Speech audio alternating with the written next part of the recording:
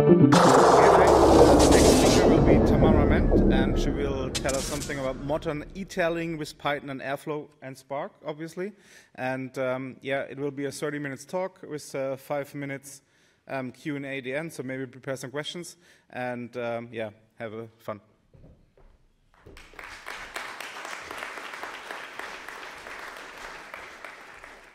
Okay, good morning, everyone, and thanks for being here. So, um, like the presenter just said, I'll be presenting modern ETLing using Python, Airflow, and also Spark. Um, so, what to expect from this talk, we'll go over what is ETLing and why I consider it still to be relevant, um, how Airflow can help you in this, and also what role Spark plays in ETLing. So, a little bit of my experience for the past two years, I was working at HelloFresh as a data engineer um, where we, I was in the team that built the data warehouse up from scratch, and we had a lot of ETLs running on production using Airflow. And before that, I was studying a very specific master's degree called uh, IT for Business Intelligence. So while I'm not an expert in the area, I think over the past years I've collected some experience that I hope can be useful for you today. Okay, so let's start with what's ETLing. So this term is actually, um, it means extract, transform, load, and it goes hand in hand with like the concept of traditional data warehousing. Um, but for me, actually, it's, it's just a process where you transform and possibly migrate data from one place to another um, for analytical purposes. So because so much has developed over the past 20 years in database technologies, of lots of people think or say they're, they're not doing ETLing because they're not doing it in the traditional sense. Um, but for me, actually, ETLing is still, is still quite relevant because you still need to transform data to make it more suited for analytics. And one important thing is that it usually implies batch processing. So some people argue, for example, that if you're using a Hadoop cluster, you're not actually doing ETLing, but you're doing ELTing, so extract, load, transform, because data is loaded as raw as possible to the cluster and then kind of transformed ad hoc. Um, but actually, if you're creating derived data sets that are meant to be used by different people than yourself, in the end, you are doing some form of ETLing uh, because you need to automate this and have the results materialized for other people to use. Um, streaming has some similarity to this. However, you notice I've graded out, and it's because actually um, streaming has one difference to batch processing, and it's that you actually, it's not agnostic to the data producing process. So this can make it a bit more complicated to implement. Um, and this is why some people, or many people, are still doing a lot of batch processing, because you just take the data that has already been generated and then you process it after it has been generated. Okay, so because ETLing was such a big thing and, and comes uh, in line with data warehousing, and before the 2000s, um, actually database technologies didn't really change much for the previous 20 years, um, there were a lot of vendor tools out there, like high-level drag-and-drop tools to do ETLing. And while they were very useful, um, I, I think there are lots of limitations to these tools. So the first one is that they're mostly designed to deal with well-structured data, and this is because most of them were built on the premise that you're migrating data from one relational database to another. And actually nowadays, or at least from my experience, um, one of the biggest problems is actually the variety of sources that you have, and not everything is a relational database anymore. You have now Mongo, for example, or also lots of uh, data collection coming from third-party APIs. So these tools uh, haven't really evolved to integrate so well with, with these other sources. Um, but also, importantly, they're mostly not open source, so they can be pricey. And also, what can be very frustrating, for, especially for a developer, is that if an operator is not working the way you expect it to, you don't know why. So it's very hard to see into the code what, what's happening. Um, so I'm suggesting, or my, my, suggestion is that instead we can use Python. And um, why Python? So first of all, it, because it's easy. So more and more I see people coming that are not coming from software development backgrounds who can code in Python, and it's a very useful tool for them. Um, also, it's way more flexible, and it allows you the possibility to create meaningful abstractions. So if you have logic that you need to reuse many times, you can create, you can encapsulate this in a function or um, whatever. And one very important thing as well is that you can test the logic. So this is actually very nice because if your pipeline, your data pipeline needs to evolve, if the logic needs to change for whatever reason, you can be confident that the change you're making is not breaking any of the previous functionality. Um, and of course, versioning and collaborating uh, on code is, is, often easier than on high-level tools. Of course, it's important to note that it, this, the use of Python for ETLing is subject to organization culture. So if you're working for an organization where across the entire organization you're using a vendor software, it probably makes sense to use the ETL tool that this vendor software provides. So I, I understand that it's not a possibility for everyone to just go to Python. So I hope you're thinking that, well, actually, um, ETL, like high-level ETL tools have a lot of nice features that I'm not willing to give up uh, and just go to Python. And I actually, I agree with this. Um, and I'll mention some of these features um, now. So one of them is the fact that you have explicit documentation. So in these drag and drop tools, you kind of connect operators together. And this gives you like a very nice view of the data lineage, so where your derived data sets are coming from. So this is a nice feature. On the other hand, um, you can also define dependencies between pipelines. So often, even though maybe all of the logic of your pipeline is contained in one, it might depend on other data sets that are derived on, from separate pipelines. So this is also nice. Um, finally, uh, also you have centralized scheduling. So this is also comes kind of hand in hand with um, having complex dependencies between pipelines because if you have them centralized in one place, it, it makes it a lot easier. And another nice aspect of high-level ETL tools is that normally you can configure data sources only once, and then they can be used across multiple pipelines because it's common to share these. Um, and also very importantly is alerting and monitoring. So when you're uh, creating pipelines, you want to make sure you find out if your pipeline fails before the stakeholders of your data sets find out because you want them to trust these data sets that you're deriving as much as possible. And every time somebody comes back reporting, hey, something went wrong with the ETL, this is starting, so people are starting to lose trust in the data points that you're, um, yeah, that you're delivering. And on the other hand, there's also, so if you can see the task duration of your different tasks, um, it's possible to detect if there's some kind of a bottleneck in your pipeline. So this is uh, where Airflow comes in. So Airflow, in their own definition, is a platform to programmatically um, author, schedule, and monitor workflows. So they use workflow as like a broader sense. Um, actually, it was developed thinking about ETLing, but yeah, it's not limited to this application. Um, basically, Airflow, it's a Python tool. It's all written in Python, and it allows you to define your pipelines in Python as well. So here you can see a pipeline definition. You can see it's, it's very simple. So the workflows, they call them DAG for directed acyclic graph. And um, you can then um, create operators associated to this DAG and then set dependencies between these operators. So as you can see, it's very simple. Um, also, Airflow is open source, so this is really nice. You can easily extend it. Um, it uh, became a Apache Incubator project uh, a year and a half ago. So this gives a sense that it's actually a project that's, that's growing and that has some nice support. So this is always something to take into account when you go into an open source, uh, like using an open source tool.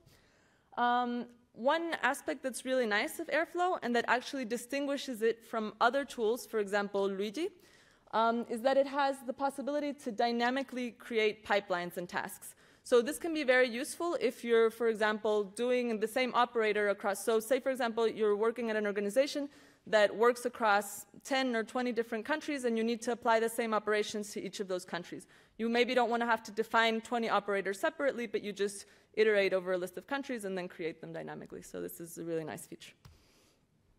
So here's the basic Airflow architecture. I actually borrowed this from, uh, from online. I, I liked it a lot. So at the central point, you see the scheduler. This is kind of the main part to understand of Airflow. And what the scheduler does, it schedules executions of tasks in your DAG. And the way it does this is that it persists information about the status of tasks in this metadata database. So if the metadata database isn't available, uh, the scheduler won't be scheduling anything, it won't run. And one thing that's really important to know about the database is that DAGs are identified by their IDs. So if you see in the previous slide, this ID is normally like a string, which is something that is meaningful to represent the DAG. And if you change the name of that ID of that DAG because you think this other name is more meaningful, for the scheduler, this will be a, whole new DAG. So this is important to take into account. Um, then on the other hand, so you can see the scheduler has different modes. So you, the sequential and local executors, what these modes are is that basically uh, the scheduler schedules tasks on the same machine where it's running. Whereas in the Celery executor, the scheduler schedules tasks on different worker nodes. So this allows Airflow to scale. So you can uh, scale to as many worker nodes as you want. Um, and then finally, the way you interact with Airflow on a high level is through the web server and web UI, which allows you to do all of these like nice uh, high-level ETL uh, operations. Okay, so again, like I told you, understanding the scheduler is kind of key to understanding how Airflow works. So basically, every DAG has a start date and a schedule, and the schedule you can define with cron notation. And what the scheduler does as soon as you turn on or unpause your DAG is that it'll schedule a DAG run for every scheduled period between the start date and now.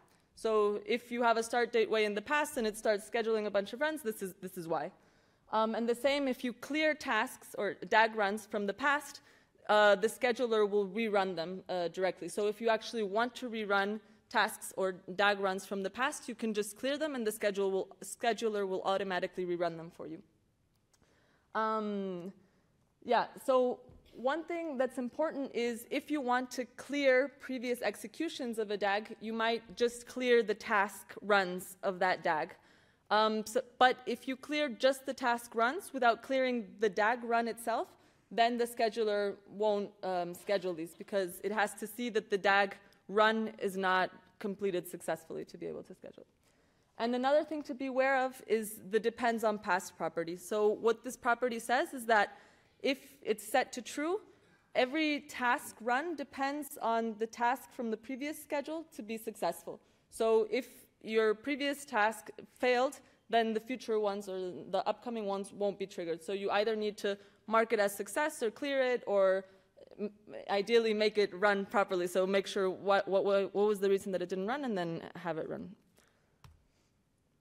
Okay, and also related to the scheduler, so there are two ways to make the scheduler not kind of catch up or backfill these tasks from the past.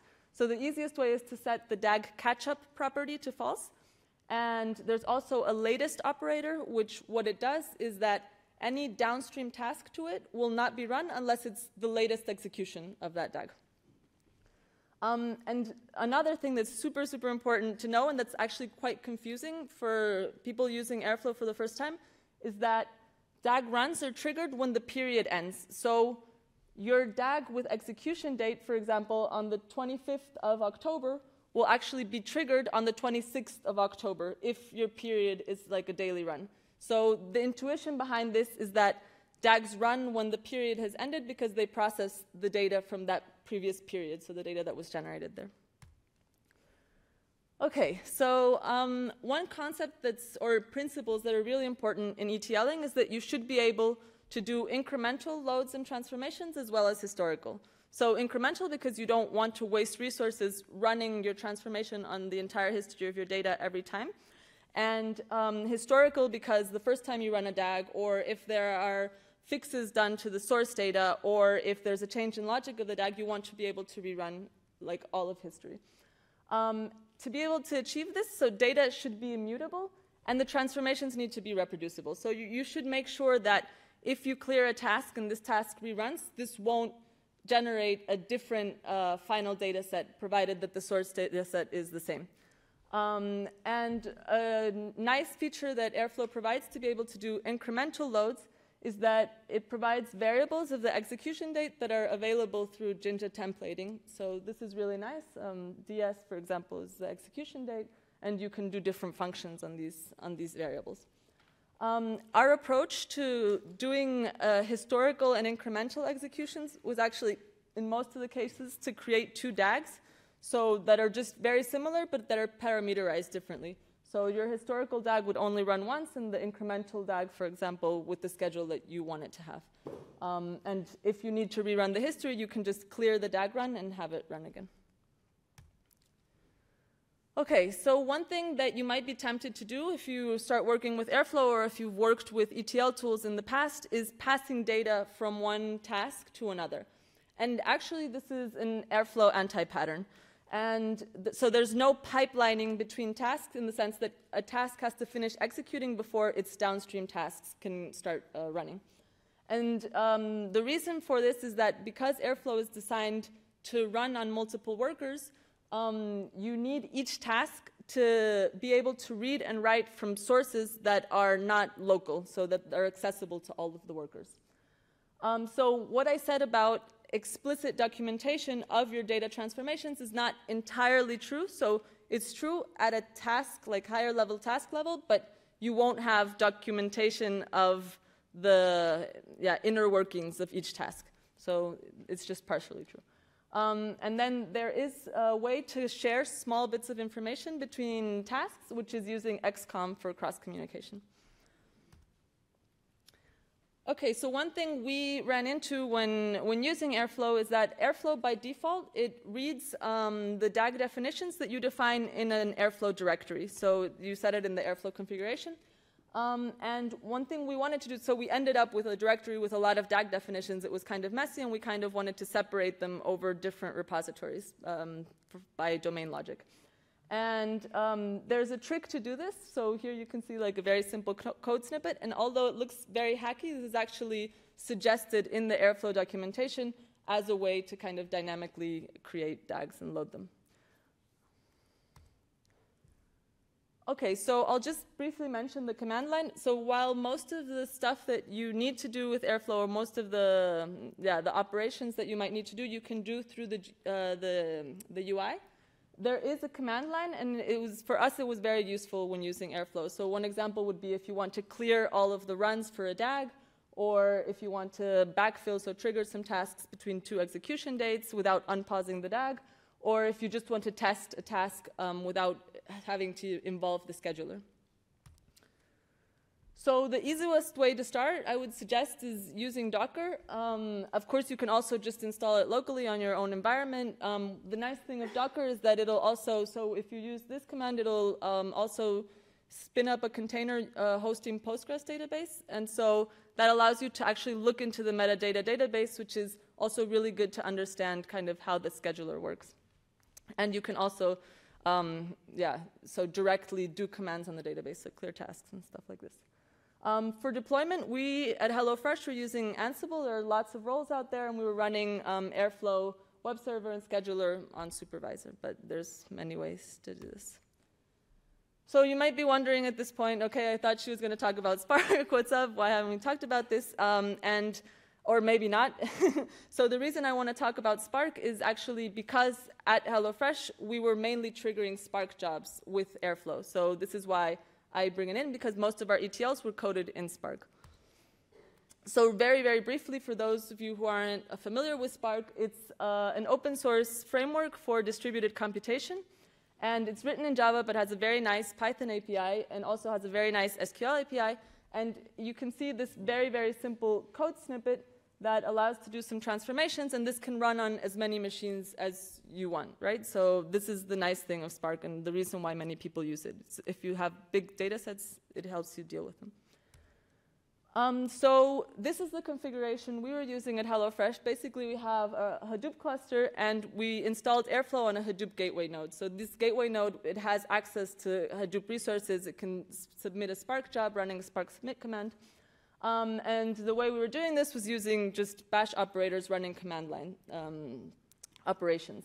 But there's also now in the Airflow contrib operators, you can find the Spark submit operator, which you can use for this purpose. So it works in a similar way. It's just a command line Spark submit. Um, if you run Spark in client mode in this layout, the nice thing is that Airflow will have the logs of your Spark job. Of course, the disadvantage is that then your machine hosting Airflow will be using resources for running the Spark driver. So if instead you choose to run this on cluster mode, the disadvantage is that you'll, you won't have the logs centralized in Airflow, which is actually a very nice feature, but instead you'll have to look for them somewhere else if your task fails. And also you'll have to set another downstream task to check if your Spark job actually finished. So one example could be like a file sensor to check if the files that you expect your Spark job to generate are there. Okay, another option actually to uh, run Spark jobs using Airflow is instead to use the Spark REST API. And so here you would use an HTTP operator to submit Spark jobs. And um, this same operator, so it would make an HTTP request to submit a job and then um, future requests to poll, poll when the job is finished. And this is a similar approach taken by the Databricks submit uh, run operator. So, um, yeah. And finally, and this is actually for me a, a, very interesting use of Airflow, we didn't do it ourselves, but it would be to incorporate inside of Airflow tasks to actually spin up for example, Elastic MapReduce or some other form of machine to run your jobs. So in your pipeline, spin up a cluster, run your job, and then spin it down again. And this you could also do um, with Airflow. So here's a reference to some, an organization that's doing that. I, I thought it was quite interesting. Uh, and I saw that there are Elastic MapReduce create job flow and adds so basically operators in the contrib operators that will allow you to submit jobs but as far as I could see, none to spin up and provision a cluster. So this is something you might have to extend Airflow for. Okay, so in summary, um, batch data processing is still widely used, and in whichever form it takes, the principles of ETLing are still present. Um, Python makes it possible for people who are not software developers uh, to actually code batch data processing jobs. Um, Airflow is a great tool if you want the benefits of like a UI um, ETLing tool with the flexibility of coding. And finally, although Airflow can run distributed, um, if you have a separate uh, cluster for distributing your jobs, you might not need to run Airflow distributed, but instead you just trigger jobs to this external place and there the distribution happens. Okay, so that's it from my side, and I welcome any questions you might have.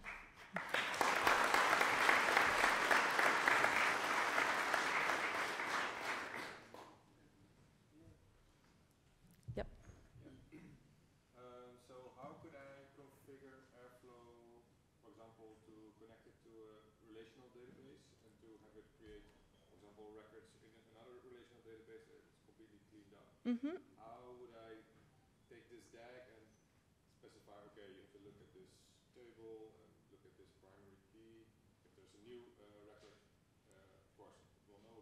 Okay. So Airflow has the concept of hooks, which are basically containing the connection to the databases and then the operators.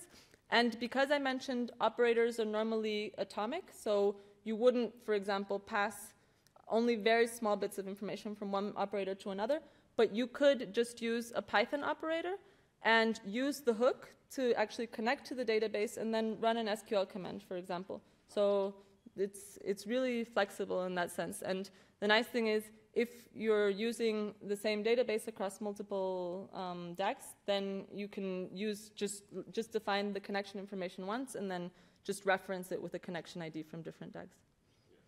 Does that answer your question? Or? Yeah, because you said uh, you could write a SQL query that finds out which records uh, are candidates for uh, recreating or updating because I mean, yeah, records can be updated instead of just. Yes, yes. So you could I mean, normally um, in ETLing, so it, it, would depend on how you want to structure your destination. Um, normally, you recreate, like, it's not that common to update it, so, but it, I mean, you could implement it this way. This is up to your choice, right? But normally, it would be faster to just drop the rows that you incorporated and reload them. Um, this is a common approach in, in like data warehousing because it's faster to just insert than to do updates. But I mean, it's up, it's up to you. Mm -hmm. Yeah. it was very quick. Oh, sorry, I couldn't continue. Okay, so starting to use it was very easy. Um, yeah, and this is also kind of why I'm an evangelist of it. Um, like I said, the most difficult part to understand was the scheduler, and that's why I kind of made an emphasis on this. And it's also important to understand that it's designed for batch processing. So you shouldn't try to use Airflow for some sort of streaming. It's not going to be helpful for that. Um, and open challenges, not so much with Airflow, but for me particularly, I would like to create pipelines where you actually spin up um, external resources, use them only for that pipeline, and then spin them down again. Because in the, L, in the end, for batch processing jobs, you don't need to have, uh, for example, a cluster running all the time unless you have like multiple users of it. But you might uh, benefit a lot in terms of resources from just spinning it up and then spinning it down again. So this would be from my side. But in terms of working with the tool, I was actually quite happy. And also, so things that I, I missed in the past, I see that there are um, new issues being created and they're being tackled pretty quickly. So the community is actually quite active. It's very nice. Yeah.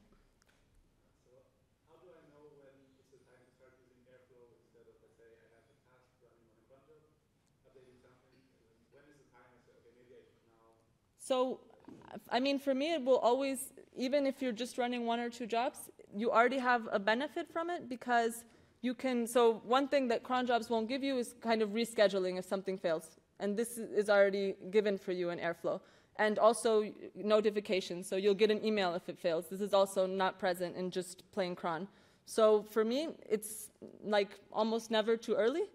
Um, yeah, so if, if, and as soon as you have dependencies, then for sure go for Airflow because it's super annoying to have to coordinate between different cron schedules. And then if your first job takes longer than it's supposed to, then the other one, you'll have to rerun it. So yeah, for, for us, we were using cron at the beginning. And, and as soon as we switched to Airflow, it was really a big relief to have that. Mm-hmm. More questions? Okay. Thanks again.